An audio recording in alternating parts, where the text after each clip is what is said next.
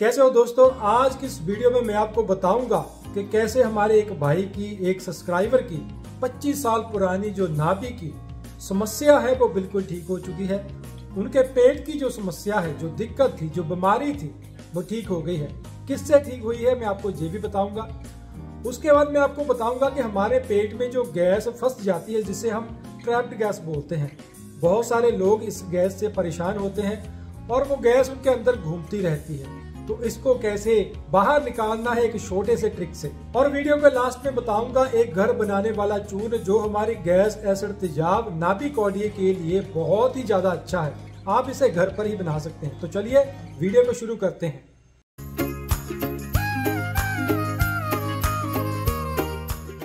दोस्तों, आज जो हमारे पास कमेंट पहुँचा है, ये कमेंट देखकर, सुनकर, पढ़कर मेरा तो मन खुश हो गया क्योंकि खुशी वाली बात है।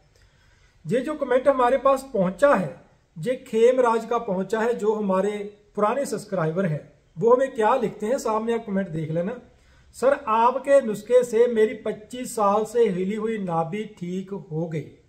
25 साल की जो नाभि थी, वो ठीक हो गई। आपका जितना थैंक्स करूँ, कम है। मैंने बहुत डॉक्टरों को दिखाया था, थक गया था। आप मेरे लिए फरिश्ते से कम नहीं हो। God may alive you always happy thanks तो दोस्तों, देखा कितना अच्छा कमेंट है। सबसे जो अच्छी बात है, वो पता क्या है?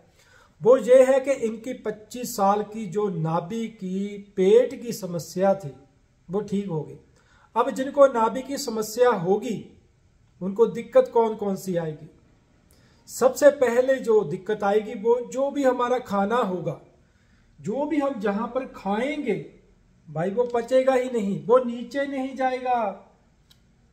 यहीं पर सड़ता रहेगा स्टमक में। और क्या होगा? गैस एसिड तेजाब।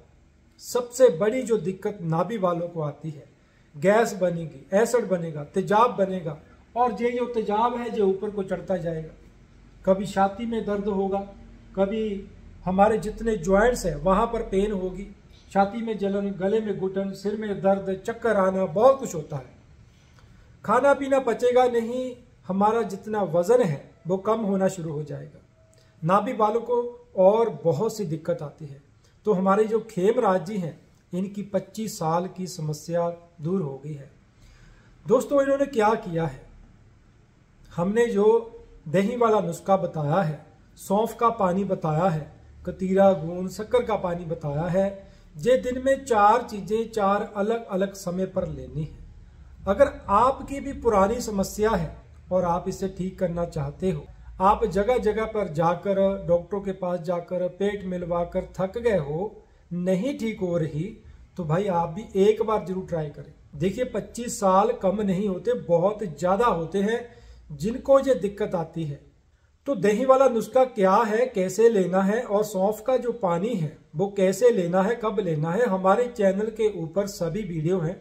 आप जो पॉपुलर वीडियो है, वो जाकर ज़रूर देखें। नहीं तो जितनी भी जो इम्पोर्टेंट वीडियो है, इनके लिंक मैं डिस्क्रिप्शन में डाल दूँगा, आप जाकर ज़रूर देखना। दोस्तों, जिस तरह से हमारे इस भाई की नाभि ठीक हो गई है, आपकी भी ठीक हो सकती है।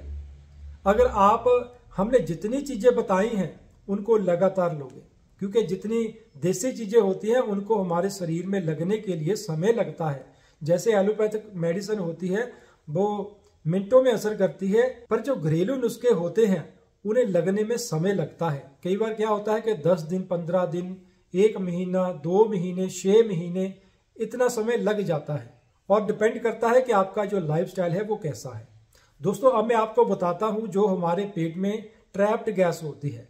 जो गैस यहाँ पर स्टमक में बनती है और अंदर ही अंदर घूमती जाती है उनको सिर्फ़ एक मिनट में कैसे निकालना है? आपने कुछ भी नहीं करना। आपको छोटा सा ट्रिक बताऊँगा और जितनी गैस पेट के अंदर जहाँ पर घूम रही है नसों में, और वही गैस हमारी नाभि और कॉडी को भी हिला देती है, हमें अपसेट रखती है, हमारा जो दिमाग है, वो चकराता रहता है इसी गैस के कारण। उसको सिर्फ़ एक मिनट में कैसे निकालना है? चलिए मैं आपको बताता हूँ। दोस्तों, जो ट्रैप्ड गैस होती है, वो हमारे स्टमक में ऐसे घूमती रहती है और हमें बहुत ज़्यादा अपसेट करती है। तो इसे निकालना बहुत ज़रूरी होता है। इसको निकालने के और बहुत सारे तरीके हैं, जैसे कि खाना खाने के बाद सैर करना, थोड़ा योग आसन करना। हमारे हाथों पर ये जहाँ पर पॉइंट होते हैं, उनको दबाना, ऐसे ट्रैप्ड गैस निकल जाती है। तो आज जो मैं आपको तरीका बताऊँगा, आपने क्या करना है कि इस तरह से आपने लेट जाना है, ठीक है? ऐसे ही लेटना है जैसे हम लेटे हैं। इसके बाद क्या करना है कि आपने जहाँ पर हाथ रखना है, जहाँ पर हमारा स्टमक होता है, ठीक है? ऐसे।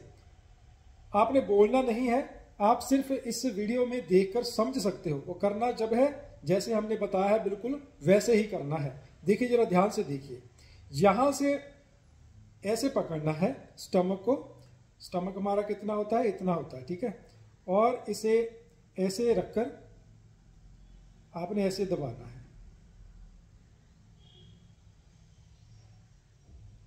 दोस्तों, तीन से चार बार ऐसे दबाओगे तो जो हमारे पेट के अंदर गैस घूम रही है ट्रैप्ड गैस है, वो उसी समय बाहर निकल जाएगी, जो कि बाहर नहीं निकलती।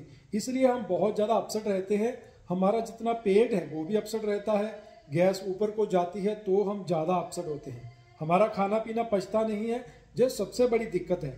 तो ट्रैप्ड गैस को निकालने का आसान तरीका, चार से पाँच बार हमने ऐसे करना है।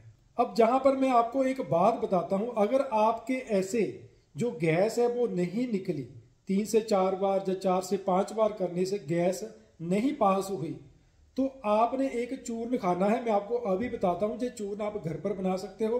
इस चूर्ण का आपने सेवन करना है, कैसे करना है, मैं आपको बताता हूँ। दोस्तों, जो ट्रिक मैंने अभी आपको बताया है, अगर आपके गैस ऐसे नहीं निकलती तो आपने क्या करना है, आठ से दस दिन जी, मैं आपको एक चूर्ण बताऊँगा, सारी चीज़ें बताऊँगा, चूर्ण को कैसे बनाना है, ये भी बताऊँगा, कैसे लेना है, ये भी बता दूँगा।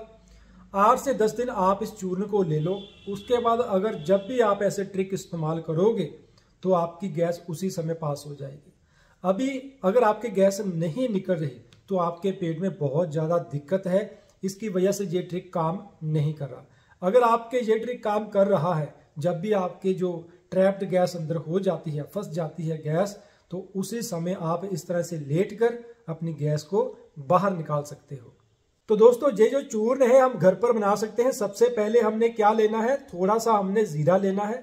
ये जो चूर्ण है, हमने आठ से दस दिन ही लेना है। आठ से दस दिन के अंदर अंदर आपका जो पेट है, बिल्कुल दुरुस्त हो जाएगा, बिल्कुल नरम हो जाएगा।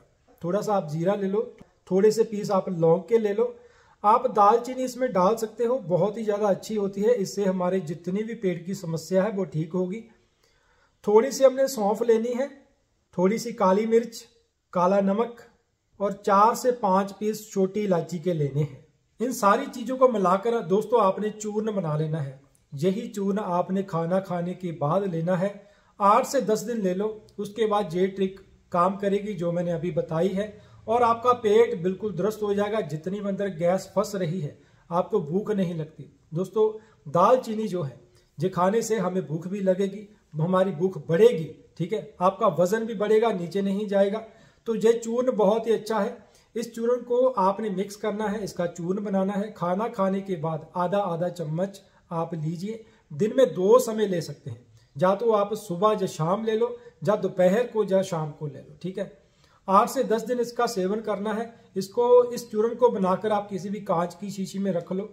घर पर किसी को भी ट्रैप्ड गैस होती है तो आप उनको दे सकते हो। आठ से दस दिन आप इसका आराम से सेवन कर सकते हो। तो दोस्तों, अगर आपको वीडियो अच्छा लगा तो कमेंट ज़रूर करना और साथ ही साथ वीडियो को लाइक और चैनल को सब्सक्राइब भी करना।